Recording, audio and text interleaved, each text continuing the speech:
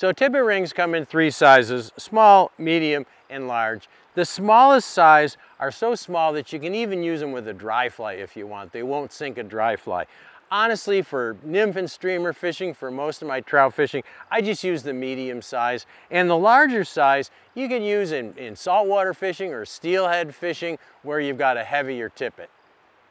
So when your knotless leader gets too short, all you need to do is tie a tippet ring onto the end of your leader with your standard clinch knot and then tie your new tippet on the other end of the tippet ring with the same clinch knot.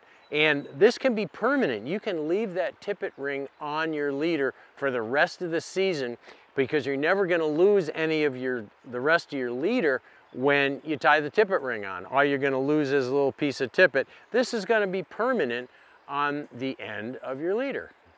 So to put on a tippet ring, uh, they come in a little snap and find the end of the snap that's gonna come loose. So check first and make sure you find the way the snap's gonna open. Then close the snap again, pull the last tippet ring in the group off to the side and just thread your tippet through it. And tie a standard clinch knot, five or six turns.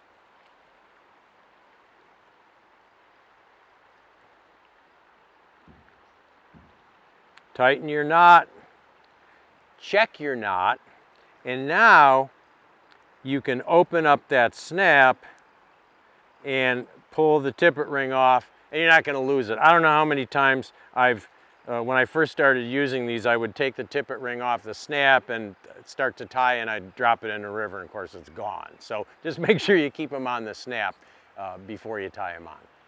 One final word of advice on tippet rings.